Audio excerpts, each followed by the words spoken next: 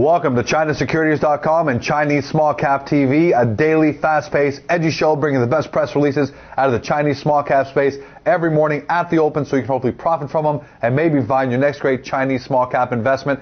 Thursday, March the 12th, I got four great press releases for you pretty much all of them dealing with results. So let's get straight to it.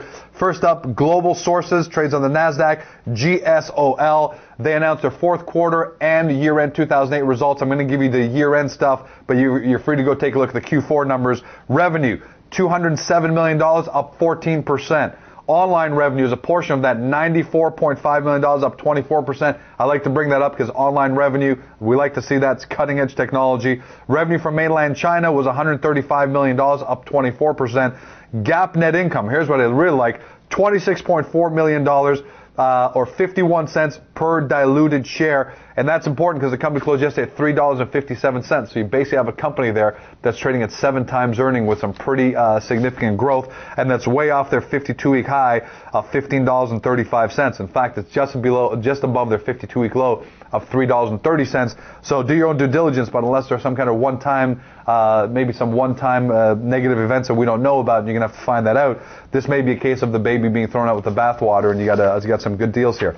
Simcere Pharmaceutical, NYSE, SCR put out their unaudited fourth quarter and fiscal 2008 numbers. That usually tells me a company is anxious to get their numbers out and then give you the audited numbers later because it means they probably did pretty well. And in fact, Simcere did do well. Uh, total revenue, $68.4 million. Uh, uh, sorry, for the full year, total revenue, that was their fourth quarter. For the full year, revenue was $255 million, up 27%. Now you know why we love these Chinese small cap companies. For the full year, operating income, $52.3 million, up 35.3%. Net income, $51.3 million, an increase of 16.2%. Love these Chinese small cap numbers. The companies, these numbers are just, you can't be, can't be refuted, can't be beat. I don't have an earnings per share number. They didn't break it out for us in the press release, but they did close yesterday at 552, about two thirds off their high of 1588, and uh, not too far off the low 441. So again, potentially some good value there. China ACM trades on the OTC under CADC. This is an Agoracom client, a client of mine. Got to disclose that, but they don't make Chinese small cap TV unless it's great news, and this is great news out of the company. They announced that they're awarded a $2 million contract for the Guizhou-Guangzhou Railway. This is hot off the heels of just a couple of days ago, the company announced a $2.2 million contract for a high-speed railway in China, so they're doing very well in the space. What are they doing? They're going to provide uh, concrete manufacturing services for a major section of the railway construction project. China ACM's portion of the project expected to be completed in late 2010. This railway is going to allow trains to travel at 200 kilometers an hour and an unbelievable amount of capacity. Go take a look at the details in the press release. Quote here from the chairman and CEO China ACM establishing a niche in supplying concrete services for the expansion of China's railway system. I think that's important because it points again to the infrastructure bill that's taking place uh, in China right now. We heard from a major trucking company yesterday how they're seeing increases in power steering and truck sales, again, related to the China stimulus package. So uh, it looks like the China stimulus package is having an immediate effect on the economy.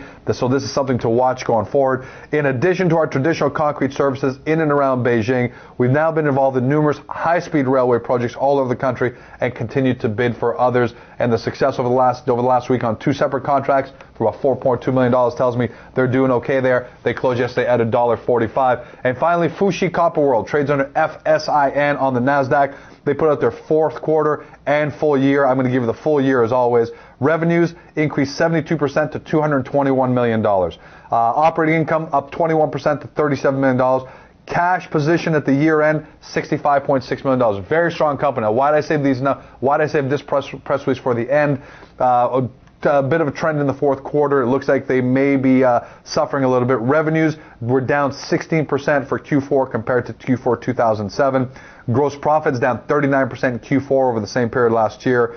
Uh, and net income for the quarter, $4.6 million. That's about half of last year's fourth quarter at $9.3 million. So we, there may be a trend here. We do know copper got whacked pretty hard in the fourth quarter, but is making a, has has sustained itself, stabilized, and maybe on the way back. Especially from the other press release we're seeing Chinese infrastructure China's infrastructure is growing and growing fast. Copper demand is going to come back pretty rapidly. Net income for the full year down just 3.8 3.5 percent to 28.5 million dollars. That dollar per diluted share they closed yesterday at 4.45, trading at 4.45 times earnings. Looks like a pretty good deal. As always, do your own due diligence. That's a wrap. Four amazing press releases. As always, if you look for more great Chinese small cap companies, don't forget about the front page of ChinaSecurities.com. Two things you're going to find there. First, all the latest great press releases out of the industry. Nothing standard or, or par for the course. Got to be a great press release to make the front page. We've got it separated by industry so you can see the last 20 to do your research. For companies that haven't put out news lately and you want to go take a look and find your next great Chinese small cap investment, the directory links right from the front page. Over 120 companies now listed by industry and exchange with great summary descriptions so you can quickly find the one that best suits your portfolio. And let me tell you something, that directory is rich with unbelievable Chinese small cap companies. You definitely want to be in this space. That's a wrap. Have a great day. I'll see you tomorrow.